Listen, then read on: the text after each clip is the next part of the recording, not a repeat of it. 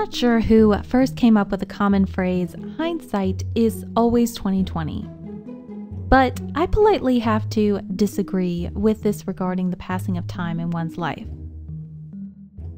You see, usually in the moments when I'm most confused about a particular situation, it's not because I don't have a, let's say, clear perspective on the situation, but rather the fact I don't possess all the pieces to this ever evolving puzzle of my life. I believe this is the very reason why things appear clearer when looking back. Not because you see them better due to distance, but rather because you clearly see all the parts as a cohesive whole.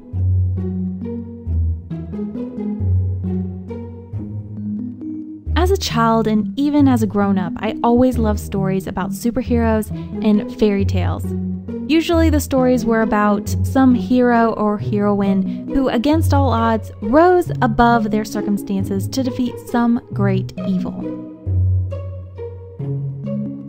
Although we rarely see dragons or arch enemies in our day to day lives, I have found that we do all possess an incredible power within each of us, deep within our hearts. Silly as it may seem, it's the power of hope.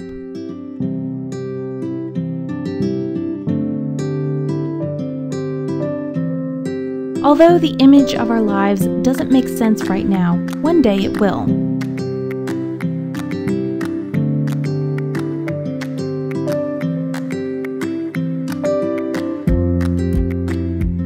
And all of those bruises, bumps, and scars that we've encountered will one day make us warriors of truth.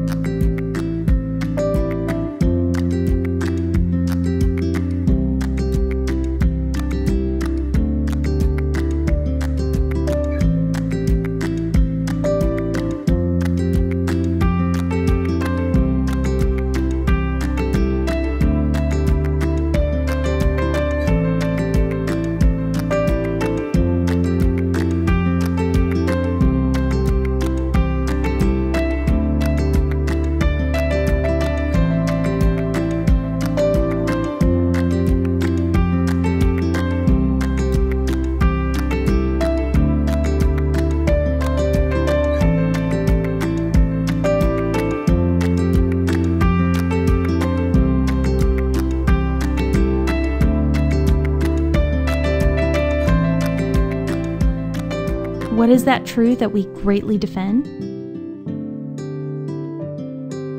Well, it's that despite our flaws and despite our shortcomings, we are valued far beyond our wildest dreams.